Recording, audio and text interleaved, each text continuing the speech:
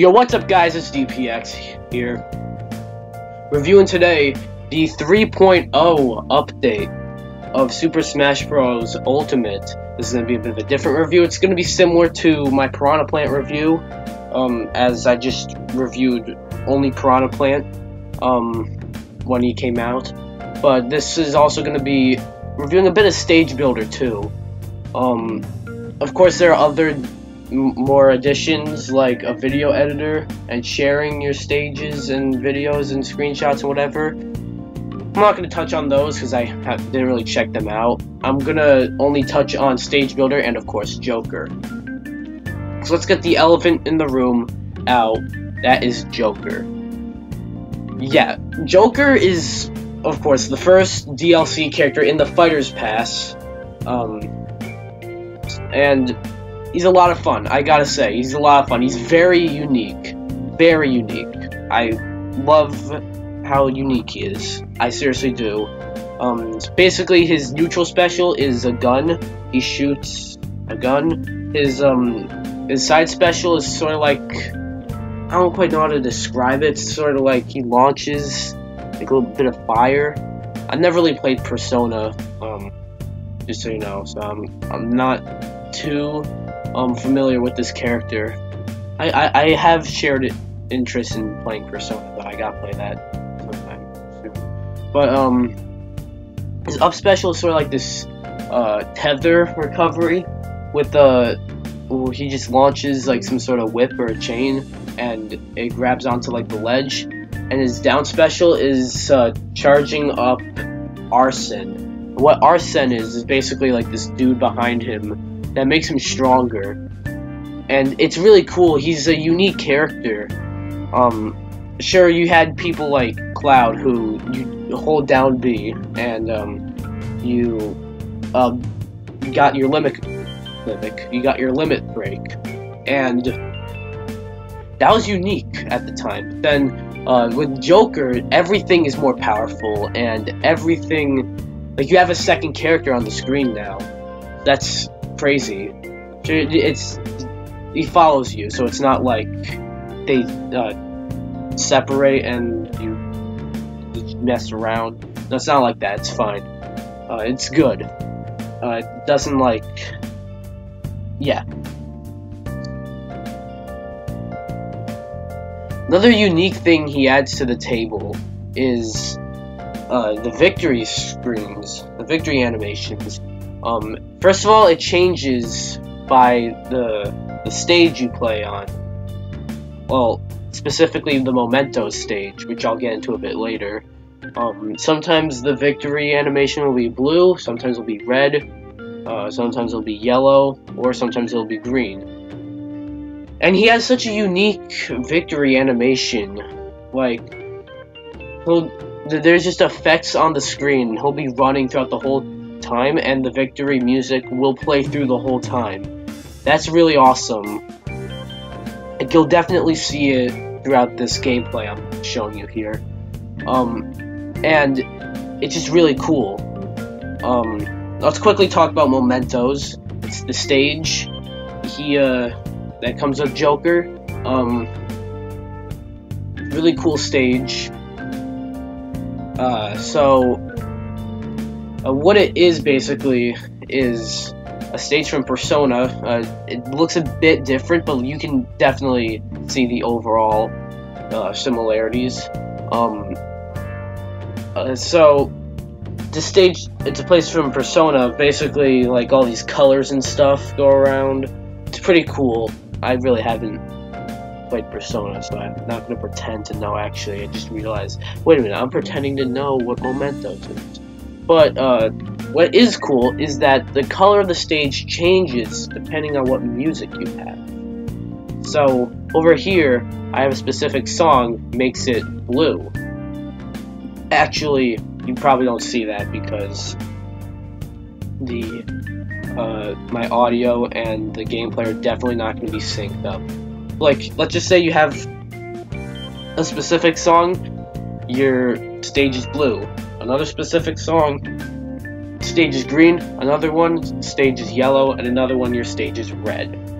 Um, uh, That's cool. I don't know any other stage that does that. I'm sure there's Mario Maker that is never the same every time you play, but this is still is the same, but like it just changes color depending on what music you have playing. That is cool.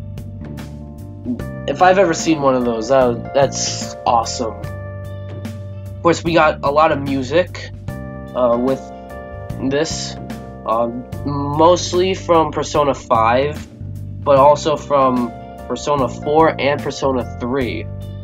It's, uh, he's a nice addition. I couldn't believe it when he was announced.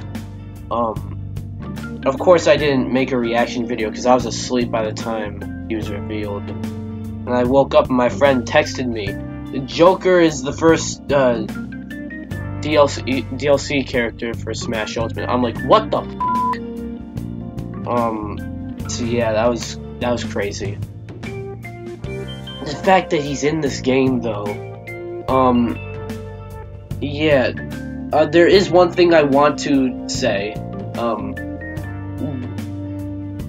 remember on an episode of the DPX Talks for About an Hour podcast, um, which I will have in the link. I'll have a link to it in the description below.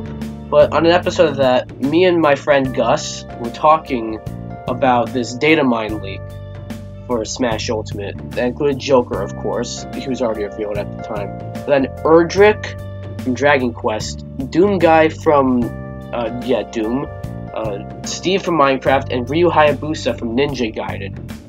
Um, it said that Jack Frost, which is a character from Shin Megami Tensei, which spawned Persona, which is what Joker is from, will be as a part of Mementos, I think, either that or he just appears for a skill. I'm not quite sure what it was, but Jack Frost will uh, have some sort of uh, presence in this.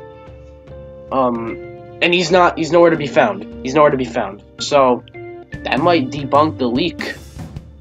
Of course, I still think Erdrick will still be in it. But Steve, Steve might also be in it, uh, considering the Vergeben leak and I he has a good track record. But I think Ryu Hayabusa and Doom Guy, as much as I'd love to see them in, maybe in jeopardy. But who knows? Uh, yeah, Joker's a really fun character to play. Um, do I suggest you get him? Yes. Um, you should honestly get the whole Fighter's Pass. Uh, he comes with music and a pretty cool stage. They're all really fun. Um, now, the next thing I want to talk about is the stage builder. Um, so we got stage builder. Finally is back. Uh, I really liked stage builder in Smash Bros. Brawl and in uh, Smash Bros. for Wii U. Uh, even if they were sort of lackluster, this one seems to uh, have a bit more. Uh, it's unique as well. So what's cool is that you get to have stuff in the foreground and in the background. You can have back layers and front layers. That's cool. I'm sorry. That's cool though. It's really awesome uh, how Stage Builder's finally back, of course. And, you know, it's it's a cool mode. Um, you can have many different, like, you can draw things, of course, and uh, many different like colors as well. Um,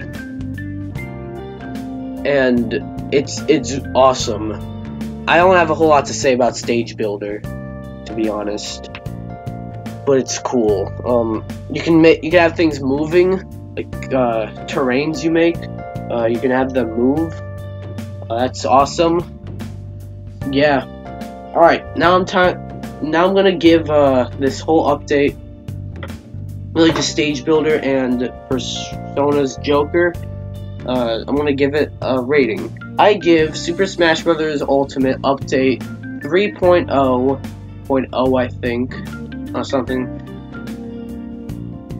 in 8.5 out of 10. I gave Piranha Plant, I think, like an 8. I mean, it's not really, you can't really give it like a perfect 10. You can't give this like a perfect 10. It did sort of, this update did sort of like lack it didn't have a whole lot of things Um, it, it has stage builder, which is awesome.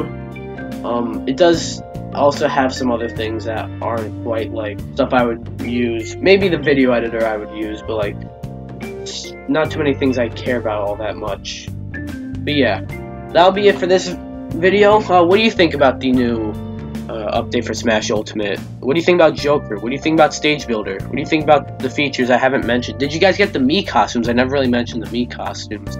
Yeah, be sure to like this video, comment, subscribe, and I'll see you guys in the next video. Bye.